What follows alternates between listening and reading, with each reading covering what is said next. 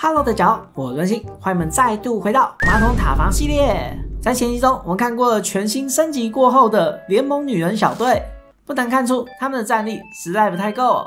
而就如同上集所预告的，这一集我们会看过这两座氪金的塔，分别是鬼魂摄影机人以及使用火焰喷射枪的摄影机人。不重要的是，这座塔它会缓速，所以待会我们会跟女电视机人还有绿镭射摄影机人稍微比较一下。虽然以 DPS 来看，最强的还是绿镭射摄影机人，它的 DPS 有九千。第二高的则是使用火焰喷射器的摄影机人，它 DPS 有六千。最弱的则是女电视人。哇，说到底，女电视人的战力真的有这么弱吗？还是作者小看她了？你们觉得呢？在比较完之后，我们再来看看这个听说超强的鬼魂摄影机人到底有没有这么厉害。老实说，我从他的账面上看来，看不出来他有特别强。原因是他手很短，只有二十五，而且又不是范围输出。虽然他 DPS 有六万，看起来拳头很大，但恐怕要实际测试才会知道它到底好不好用哦。OK，那咱们这部影片正式开始以前，邀请各位小新们不要忘记啦！如果想要看到更多的马桶塔防，就是现在啦！帮这部片留下个彩色大拇指，然后知道你们想要看到更多。然后这一集我们的喜欢目标数要怎么定呢？鬼魂摄影机人 DPS 有六万，火焰喷射枪摄影机人 DPS 有六千，然后这一集就来定个一千六百喜欢好了，看看能不能赶快达到。那这次我们来使用马桶总部做个实测吧，Let's go！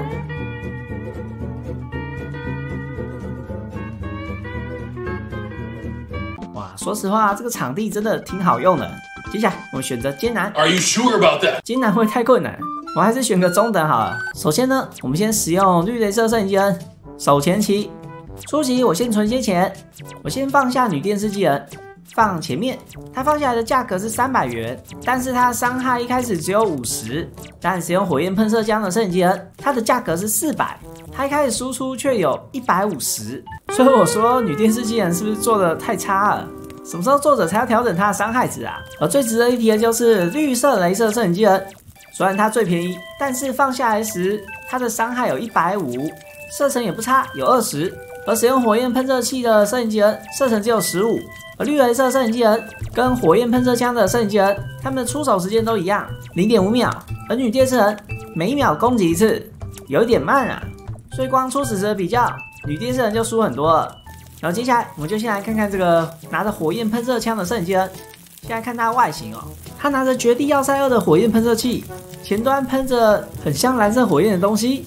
哇，与其说这是火焰，倒不如说这是蓝色的粒子啊。而被蓝色火焰喷到的马尔人也没有着火特效，反而被女电视人喷到有烧起来。我来看它的伤害面板，初始伤害是一百五，攻击范围有十五，零点五秒出手一次，降速效果是二十五趴。哦，对了，说到这个降速效果，女电视人居然没有写它降速效果有多少，绿镭射摄影机也没有。这个马桶塔防越来越像缝合怪游戏了，面板都不一致哦。看来作者他们之后有蛮多东西要修的哦。接下来我们把它升到等级二，从外形上看来，它的摄影机头多出了一个装置，原本是没有的。它伤害提升到三百五十，射程控制到十八，一样零点五秒出手一次，再升级。哦，现在可以看到它多出了一个麦克风收音装置，这也是原本没有的、此时它输出是五百，攻击范围是二十，零点四秒出手一次。接着我们再升级，来到等级四，此时它的镜片多出了一片保护罩。稍微比较一下没升级的版本，原本也是没有的，现在装上去了。它输出有五百，攻击范围二十二，零点二秒攻击一次，再升级。哇，最后季的升级多出了喷射背包以外，还多出了耳罩。它的伤害现在有一千二，攻击范围是二十五，零点二秒出手一次，而缓速能力一样，还是二十五趴。我可以拿它跟绿镭射摄影机人比较一下，如果我一样把它升到最满，它输出有一千八百，而绿镭射摄影机人它能够缓速对手五十趴，这是官方数据哦。而火焰枪摄影机人只能缓速二十五趴，而火焰枪摄影机人它攻击范围是扇形，但绿镭射摄影机人只能缓一个对手。所以这两座塔虽然都是缓速塔，但是它们用途不一样哦。然后在中等等级，这个拿着火焰枪的摄影机人是绝对没问题的。那下一个难度又如何呢？我前期把前塔都放前面，让他们挡伤害，再放两个绿镭射摄影机人帮我守前期。好的，我把所有的前塔都升满，现在可以来放下主角了，把他们一座一座升满，让他们先守住中期。我把他们放在第三排，毕竟他们的输出范围有二十五。到第三十四波，我所有的拿火焰枪的射击人已经升到最满了。现在我可以准备来卖科学家，放下更多的火焰枪射击人，并且把他们升满。好了，布阵完成。我把他们分成两排，前面有十四只，后面有一只，后面这只只是辅助。如果不小心被晕眩时，他还可以帮忙。接着就让我们看看火焰枪射击的阵能不能够突破艰难。依照我的计算，应该是没有什么太大问题哦。主要是因为他们都是范围输出，对，就跟冰霜 DJ 音响一样。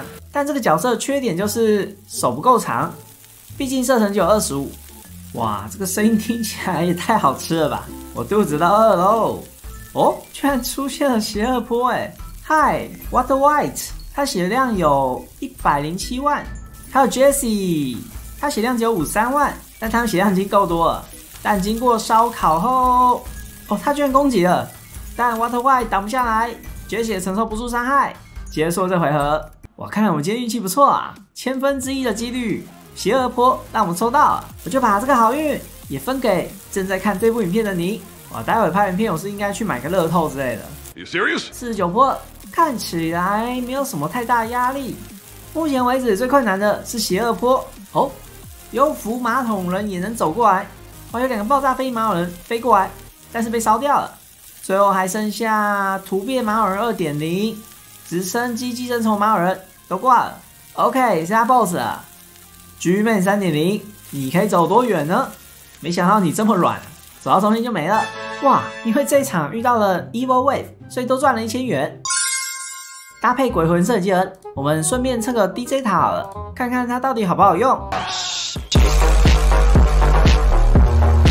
这次我们也选择艰难，我们前期一样用绿镭射摄影机人守住，并且先存钱。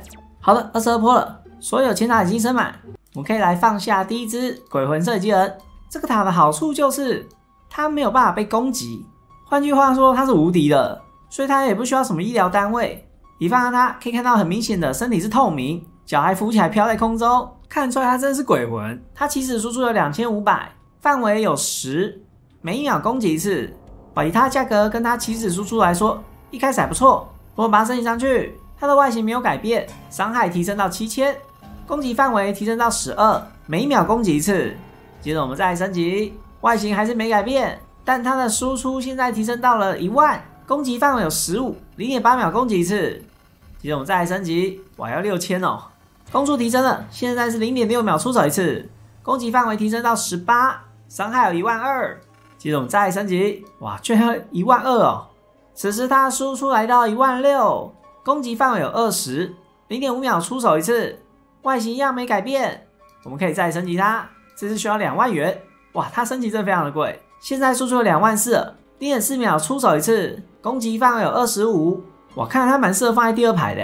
在我们做压力测试以前，我们来看一下 DJ 音响人。放下它后，可以看到一个穿红色衣服的 DJ 音响人在打空气碟。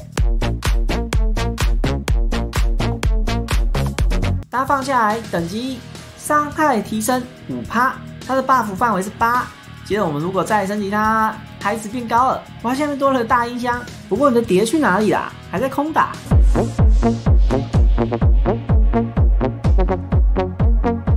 它的伤害提升到十趴，buff 范围是十，再升级。哇，下面又多出两颗音箱，这已经是它的最高等级了。伤害提升十五趴，buff 范围是十二，所以如果想要搭配鬼魂射击人的话，Many tic tacs later. 看来就只能这样放了。前面放五只，后面放四只，当然这边也是可以放啦。但我觉得我们这样放两排就可以做压力测试了。现在我只需要把它们一只只都升满，毕竟它们升级价格非常的贵啊。被 buff 之后的鬼魂射击人，它的伤害提升到了两万七千六百，也就是说它 DPS 提升到了六万九啊，所以马桶人们都走不过来了。再加上这个单位不会被晕眩，搞不好可以瞬间宰掉 BOSS 说不定哦。哦，群妹三点零瞬间被蒸发哎，十五分五十九秒就打完了。好的，今天这集我们看过两个独家单位，凑起来这两只都蛮好用的，再加上 buff 塔应该会有奇效哦。所以搞不好之后我们可以用这些塔稍微组合一下，看能不能够突破无限模式。哦，对，我们这集只有测这个独家的 DJ 音响人而已哦。但事实上，这个广播员摄影机人它更难抽，也就是说它的 buff 效果会更好。你就留到之后再测试吧。然后接下来就是各位小星星们期待的公开抽奖环节啦。在上集影片中，我们说要抽出五位观众，要送你们 mini 杠女摄影机人。而这部影片截至目前为止有八百零七则留言，我们就直接开抽喽。第一位是阿健视频，现在我的钻石超少的六十而已，哦，现在也蛮少了。在抽完之后还做了任务，现在只剩两百零五了。但我想我们的目标都一样啊，都是希望可以抽到 DJ 电视人。哦，阿健已经先发送好友邀请给我，所以你已经预料自己会中奖是吗？好友邀请我也接受，请记得来领奖哦。那么第二位，Call Me Horrors The Gaming Boy，任心，千万别累坏身体，除了关心 YouTube，也要多关心自己。哇，这真是温暖留言。我说真的，在做影片时，常常也感受到蛮快乐的，所以做着做着时间就忘记了。有时候回过头来才发现，哎，我居然少吃了一餐。说的没错，阿星真的也要多关心自己哦。看来你也发送好友给我了，我就直接接受了。邀请你记得来领奖哦。第三个留言中奖的是黄金图棘手徒弟阿星，你要多喝暖水，这几天都很冷哦，真的、哦，这几天真的蛮冷的，一直都在快要感冒的边缘。我想应该蛮多人都是吧，就让我们一起多喝温开水，尽量不要感冒，撑过这几波寒流就会好多了。那么黄金突击手徒弟。好友邀请你送出，请记得来领奖。那么第四位，威廉黄，翻中文应该是黄威廉吧？真心感谢你帮我们实测，不客气。总之就是想要分享一些资讯给没有这座塔的大家，这样你会知道这些塔值不值得买，值不值得抽。好友邀请我也送出，邀请你记得来领奖哦。那么最后一位蓝猫，看来也是一位 YouTuber，有在拍 Roblox，感谢新放出的奖励，不客气。看来你平常也有做好事哦。所以很幸运的中奖啊！哦，原来你之前就送好友邀请给我，好友邀请你接受，蓝猫也要记得来领奖哦。OK，那既然各位都看到这里了，那我现在就来公布一下这一集的利多啦。这一集我们测过了 DJ 音响人，所以打算抽出五位幸运小星星，送你们 DJ 音响人。虽然说他在宝石宝箱中七十八就能抽到，但我想可能有些人连每日任务都没有做。不过说起来，就算你做了每日任务，也要做上好一段时间。才能够抽到两百钻石哦。OK，那么这集马桶塔防也差不多就到这里结束啦。感谢您的收看。那如果你想要看到更多马桶塔防，还没有订阅这个频道的朋友，也不妨考虑按下个订阅，因为之后我还会拍更多哦。那么最后，最重要当然是别忘记保持正面能量。我真心，我们下部影片会，拜拜。